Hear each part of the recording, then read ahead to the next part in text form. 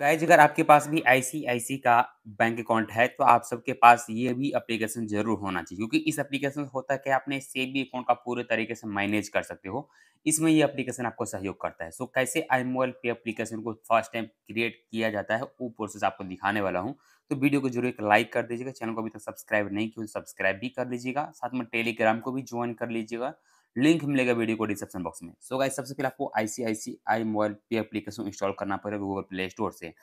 जैसे Google play store से आप इंस्टॉल करो एप्लीकेशन को इंस्टॉल करने के बाद आपके सामने कुछ इस तरह का इंटरफेस होगा। सबसे पहले आपको ऊपर में ऑप्शन आपको दिखाई देता होगा गेट स्टार्ट का ऑप्शन आपको इस पर क्लिक करना है, उसके बाद आपके सामने कुछ इस तरह का इंटरफेस शो होगा। अभी आपके यहाँ पर दो ऑप्शन मिलता है, यानी पहले में इंडिया और दूसरे में एन आ रहा है तो आपको ऊपर वाला ही सिलेक्ट करना है इंडिया वाला, ठीक है? यानी इंडियन वाला। तो आपको टर्म एंड कंडीशन को एक्सेप्ट करना है। टर्म एंड कंडीशन जैसे एक्सेप्ट कर लोगे फिर आपके सामने यानी ये देखिए ये इधर टर्म एंड कंडीशन एक्सेप्ट करने का ऑप्शन दिया गया है। तो आपको इस पर टिक लगाना पड़ेगा और फिर आपको करना है कंटिन्यू पे क्लिक सो so, जैसे कंटिन्यू पे क्लिक करोगे फिर आपको सामने कुछ इस तरह का इंटरफेस शो होगा। फिर से आपको कंटिन्यू पे क्लिक करना है। उसके बाद आप कौन सा सिम से अपना जो है अपना जो ये आपका रजिस्टर मोबाइल नंबर है कौन सा बैंक में दी हो वो सिम आपको सिलेक्ट करना है टिक लगाना है।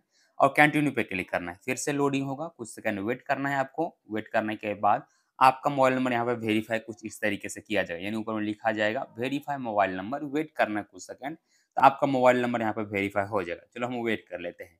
जैसे आपका मोबाइल नंबर वेरीफाई होगा, वैसे आपका ये जो एप्लीकेशन पूर्ण तरह से स्टार्ट हो जाएगा। लेकिन आपको सेवी अकाउंट को हैंडल करने के लिए आपके पास एक जो है डेबिट कार्ड होना चाहिए। डेबिट कार्ड कुछ इस तरीके से होता है। यहाँ पर देखिए नीचे में जो है यहाँ पे ए से लेकर और पी तक का एक अंक रहता है। ये देखिए, हर एक में जैसे ए में फोर्टी वन है बी में फिफ्टी टू है, इस तरह से आपके भी डेबिट कार्ड में इसी तरह का लिखा रहेगा। तो आपके पास भी ये डेबिट कार्ड होना चाहिए।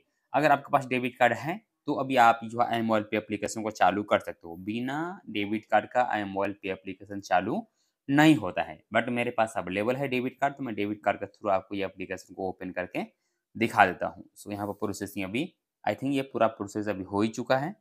सो यहाँ पे मेरा मोबाइल में वेरीफाई हो चुका है। मोबाइल में वेरीफाई होने के बाद यहाँ आपको फोर जीट का एक पिन भी बनाना पड़ेगा। पहले तो अपने मन से जो आपको हो, वो अपने मन से आप एक फोर जीट का जो है पिन बना लीजिएगा। सो यहाँ पर मैं एक फोर जीट का पिन यहाँ पर बना लिया हूँ। फोर जीट का पिन बनाने के बाद यहाँ पर देखिए कुछ लोडिंग होगा। लोडिंग होने के बाद बैंकिंग योर फिंगरप्रिंट यानी एड योर फिंगरप्रिंट मतलब अपना फिंगरप्रिंट आप यहाँ पे लगा सकते हो। उसके बाद यहाँ पर दो ऑप्शन आएगा। पहला आएगा डेबिट कार्ड का और दूसरा आएगा नेट बैंकिंग तो आपके पास जो भी अवेलेबल जैसे मेरे पास यहाँ पे देखिए, आप नेट बैंकिंग के थ्रू भी कर सकते हो और डेबिट कार्ड के थ्रू भी कर सकते हो, बट इजीली होगा डेबिट कार्ड से ही तो डेबिट कार्ड सेलेक्ट कर लीजिएगा।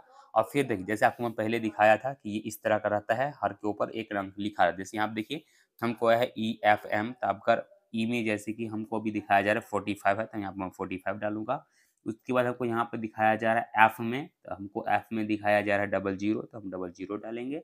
और साथ में एम के ऑप्शन दिया गया है तो हम एम में भी जो है सिक्सटी वन है तो हम यहाँ पे सिक्सटी वन डाल देंगे। जैसे आप सिक्सटी वन डालोगे, फिर एक सबमिट का ऑप्शन आ जाएगा, आपको सबमिट पे क्लिक कर देना है। सो जैसे आप सबमिट का ऑप्शन क्लिक करोगे, आपका ये लास्ट प्रोसेस था, आपका यहाँ पर कंप्लीट हो जाएगा। यहाँ पे देखिए, अभी आपको अगर फिंगरप्रिंट है तो इसको अलाउ कर दीजिए।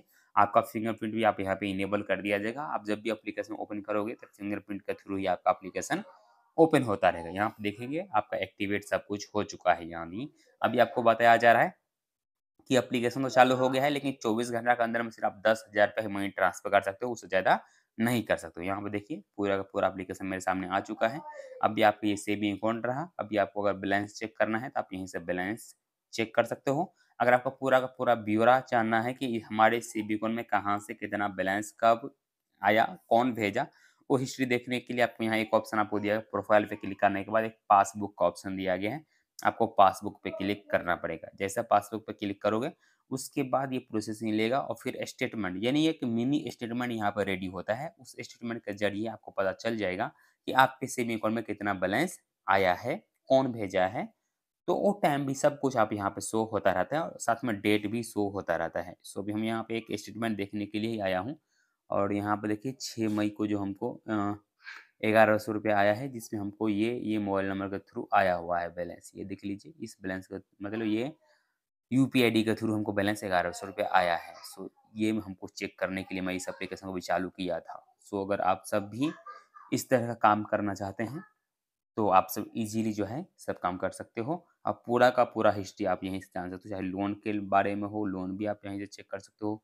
क्रेडिट कार्ड अगर आप मैनेज करना चाहते हो आईसीआईसी का तो क्रेडिट कार्ड भी आप यहीं से मैनेज कर सकते हो। अगर अपना कार्ड को अपग्रेड करना चाहते हो, अपग्रेड योर क्रेडिट कार्ड, यानी अगर आपके पास क्रेडिट कार्ड है तो अपग्रेड करना चाहते हो, इस पर क्लिक करके और अपने कार्ड को अपग्रेड कर सकते हो। क्लिक टू अपग्रेड का एक ऑप्शन दिया गया है, जो कि देखिए ये क्रेडिट कार्ड हमको दिखा है, जिसमें एनुअल फ़ी जो है ज्वाइनिंग फ़ी साढ़े छः हज़ार रुपया है एनुअल फ़ी साढ़े तीन हज़ार रुपया है। इसके अलावा यहाँ पर देखेंगे तो और भी डेबिट क्रेडिट कार्ड सब हैं जिसके एनुअल फ़ी तो यहाँ पर दिखाया गया है, नील या ज़ीरो बट ज्वाइनिंग फ़ी पच्चीस सौ रुपया है। ये तीन क्रेडिट कार्ड अभी हमको ऑफ़र में आया है। अगर आपको भी ऑफ़र में रहेगा तो आप सभी ले सकते हो। सो इस तरीके से आईसीआईसी का आई मोबाइल पे एप्लीकेशन को आप चालू 2024 में कर सकते हो। फिर भी कुछ दिक्कत होता है तो टेलीग्राम पर लिंक डाल दिया हूँ।